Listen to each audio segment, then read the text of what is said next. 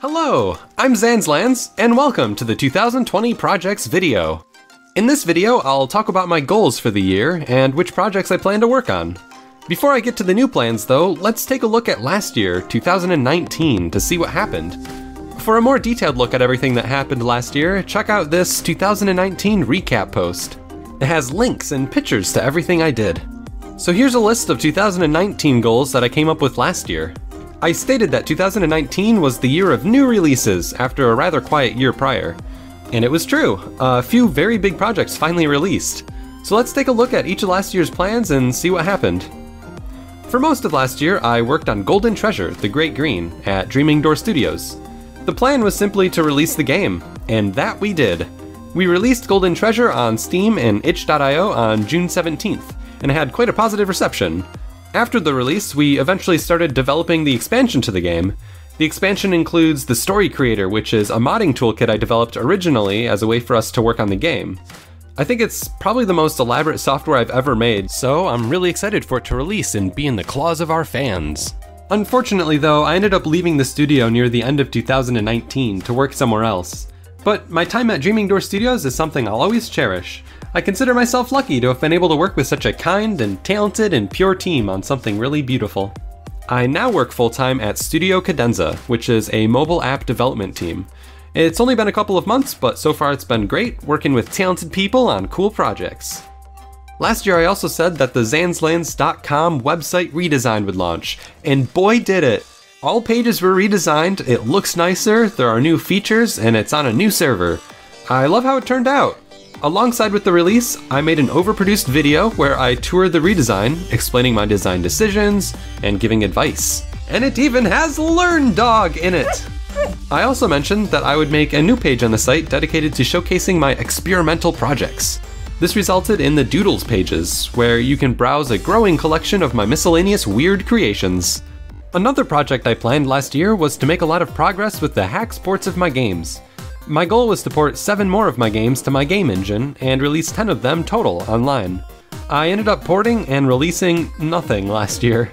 I mostly spent the time optimizing and adding features to the game engine instead. The next project was RettoBot. My goal was to make a beta version of RettoBot to do testing and research, and after that I hoped to launch it. These plans didn't end up happening though. My other projects ended up taking full priority, so RettoBot was delayed again. As for Mine Blocks, the start of the plan was to release the 1.29 update, and so I did. The update went well, it featured a lot of new additions and bug fixes that improved the game. Part of my plan was also to start the process of recreating Mine Blocks in my Haxe game engine. The port itself wasn't started, however the game engine made a lot of progress, which will definitely help. One of my other plans was to launch a Discord server for Mine Blocks. So, in 2019, I created two Discord servers, one was for Mine Blocks, where players can discuss the game, share their creations, suggest features, and hang out. The other Discord is a more general one for Zanzlanz, where I share other news and creators can share and get feedback on their work, stuff like that. So far, the Discords have been fun, and it's awesome to be able to interact and share stuff with you live. Another big plan I had for 2019 was to start a Patreon account. I made a bit of progress with planning the Patreon, but I still never launched it. I want it to be really well thought out before I do it and my last goal was to be working on either Spike Tower or Frisbio regularly by the end of the year. But unlike in 2018, I mostly stopped working on multiple projects at a time, so last year I didn't start working on any other projects like Spike Tower or Frisbio. So that was 2019. Progress was made, some nice goals were met, and a few big projects were crossed off the list. I'd say that it was a fantastic year. Before I talk about my plans for 2020, Last year, this YouTube channel went from 12,000 to 13,000 subscribers. We finally surpassed the number of identified vulnerable species in the world. That means we can progress to Phase 2. In Phase 1 last year, we built a sentient flaming box and scouted out for renowned scientist wizard seahorse named Fledgehopalodulov. After successfully discovering him, he and I discussed Phase 2 to save vulnerable species. Each of you will be assigned a unique vulnerable plant or animal. You will be delivered a kit allowing you to shapeshift into your assigned species to become a trusted member of their kind. Once you learn enough of them to determine their existential fate, you will bring back a DNA sample to mail to Fledge. From there, Fledge will create an entire world where your species survives and thrives, ultimately protecting and preserving their essence and beauty far beyond what Earth can currently guarantee. And then we'll have juice boxes together. Oh yeah, 2020. Here's the list of projects I plan to work on this year. It mostly revolves around game ports and Mine Blocks. Since Flash games are no longer going to work in browsers by the end of the year, I must make all of my games run as HTML5 games somehow. The way I'm doing this is by recreating my most popular games in a programming language called Haxe. Haxe then transpiles my code into an HTML5 game. Not only that, but it can also make desktop apps and mobile games, all with the same code. So the last couple of years, I made a little library in Haxe that helps me do this. Recently, I made some important additions and optimizations, and I feel like it's nearly ready to be put to the test. So my first goal is basically the same as last year. It's to recode 7 more of my games with my Haxe library. This means that most of my Ludum Dare games should be ported by the end of the year, leaving mainly unfinished and unreleased games left to recode. And now that my website redesign is finished and my game library is optimized, I'd like to start releasing these ports as soon as possible. My goal is to finish and start releasing the ports within the next couple of months. I already have 5 games ported, so this really shouldn't be too crazy of a goal. As for my older games, the ones I'm not going to port, I'll rely on Ruffle. Ruffle is a new Flash player being created by some super lovely devs, and it will magically help get Flash games running on web again.